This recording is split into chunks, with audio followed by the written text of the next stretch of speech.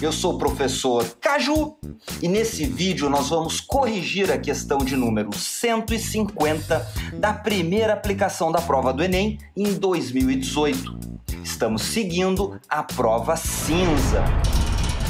Se vocês curtirem essa resolução, não esquece de dar o joinha embaixo e de compartilhar esse vídeo com a galera de vocês que esteja estudando para o Enem também, pessoal. A questão 150, ela é uma questão que eu achei bem interessante. Por quê? Porque é uma questão que numa primeira leitura parece difícil, parece demorada, mas não é. Essa é uma questão aqui que ela é fácil da gente fazer, ela envolve matemática financeira, mas é uma parte bem simples da matemática financeira. Vamos lá então ver o que a questão 150 está falando. Uma loja vende automóveis em N parcelas iguais, sem juros. Pessoal, nessa primeira frase aqui, nós já temos várias informações importantes. A primeira informação, mega importante, é essa aqui, ó. Sem juros. Por isso que essa questão ficou fácil de fazer. É uma questão de matemática financeira, mas é sem juros, galera. Então não tem nada de juros compostos, nada de juros simples, é basta multiplicar. Então vamos lá, ele está dizendo que a loja vende em N parcelas iguais. Vamos colocar aqui então a primeira informação. Essas N parcelas são iguais a quanto? Não sabemos, né? Vamos colocar então um valorzinho aqui para ela. Vamos dizer que ela valha P reais. Então é N parcelas iguais a P reais. Eu criei uma incógnita aqui. Galera, se é N parcelas de P reais e não tem nada de juros aqui, quanto que vale o carro nessa situação. Olha só, se eu falasse que, for, que era 10 parcelas iguais a 5 reais, quanto que custaria? 10 vezes 5, 50 reais. Se fosse 20 parcelas de mil reais, 20 vezes mil, custaria 20 mil reais. Então basta eu multiplicar o número de parcelas pelo valor de cada parcela para descobrir o valor do carro. E é isso que eu fiz, ó. N vezes P, isso aqui é o valor do carro nessa situação aqui de N parcelas iguais a P reais. No momento de contratar o financiamento, caso o cliente queira aumentar o prazo, acrescentando mais cinco parcelas, então ao invés de N parcelas, eu vou acrescentar mais cinco nessa nova situação. N mais cinco parcelas. Agora são parcelas iguais a quanto? Olha só, ele está dizendo que se aumentar em cinco parcelas, o valor de cada uma das parcelas diminui 200 reais. Para aqui, então, ó, se era P reais e diminuiu 200, agora então é P menos 200. E nessa nova situação, quanto vale o valor do carro? A gente viu ó, que para encontrar o valor do carro, basta multiplicar o número de parcelas pela pelo valor de cada parcela. Então, nesse caso aqui, o número de parcelas nessa segunda situação, agora é N mais 5, vezes o valor de cada parcela. Eu tenho aqui, então, o valor do carro nessa segunda situação.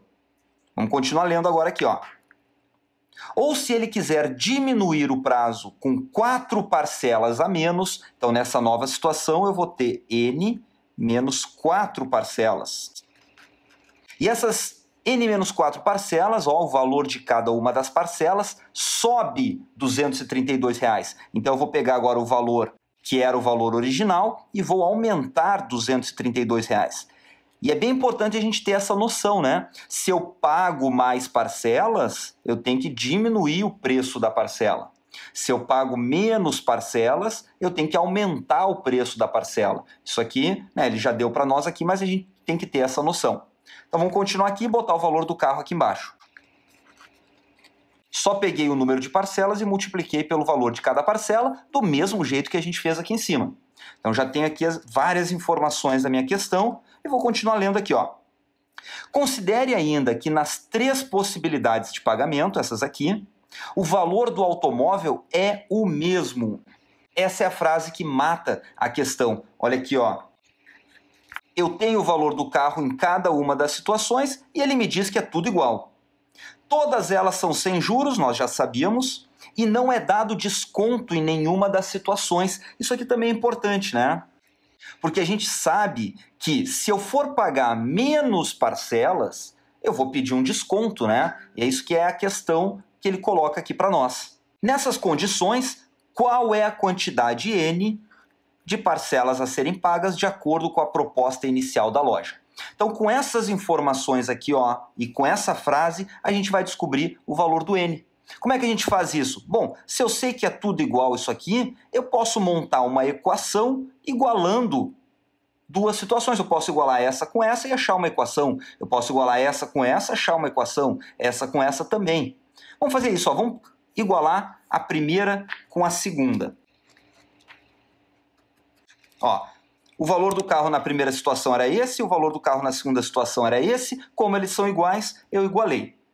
Vamos achar esse valor aqui, ó. Multiplicação, aplica o chuveirinho aqui, ó.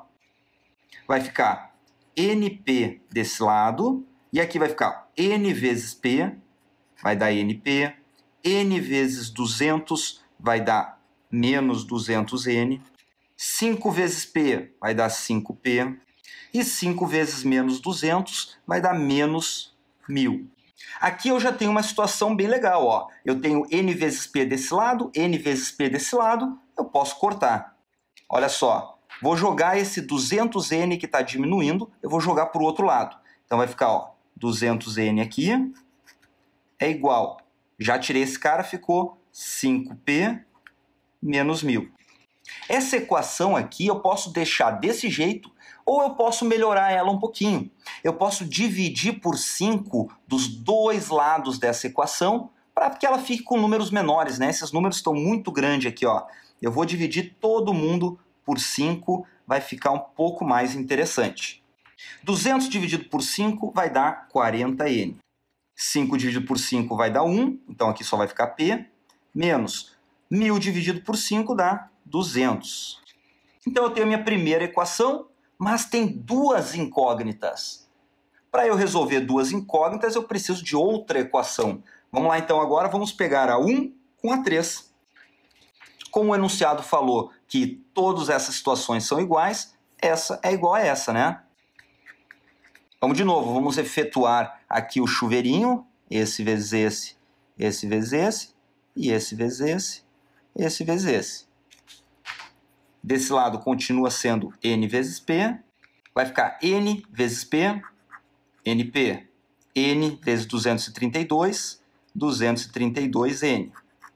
Menos 4 vezes p, e menos 4 vezes 232 vai dar menos, aqui ó, 4 vezes 2 vai dar 8, 4 vezes 3 vai dar 12, vai 1, 4 vezes 2, 8, mais 1, 9. 928 é essa multiplicação aqui.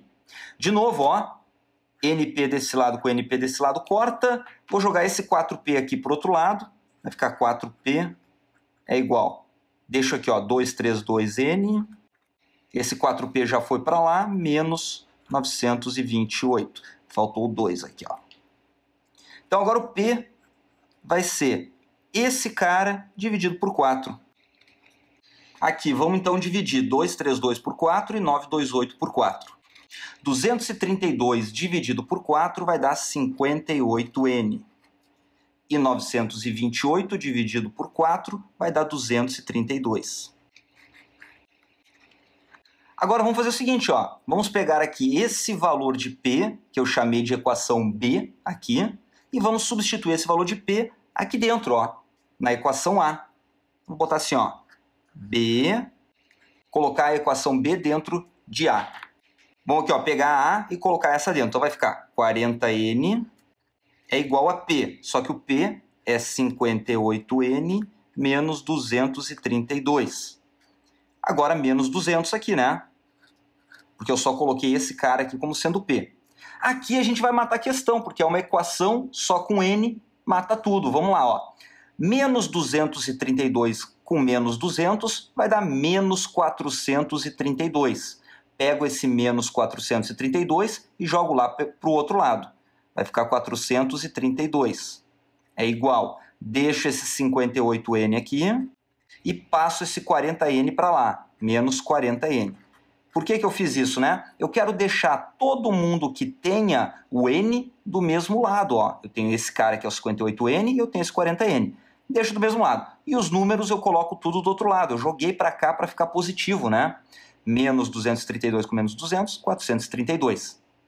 Vamos continuar aqui, ó. 432 é igual. 58n menos 40n dá 18n. Então o n a gente já consegue matar aqui, ó. Pega esse 18 que está multiplicando, passa dividindo.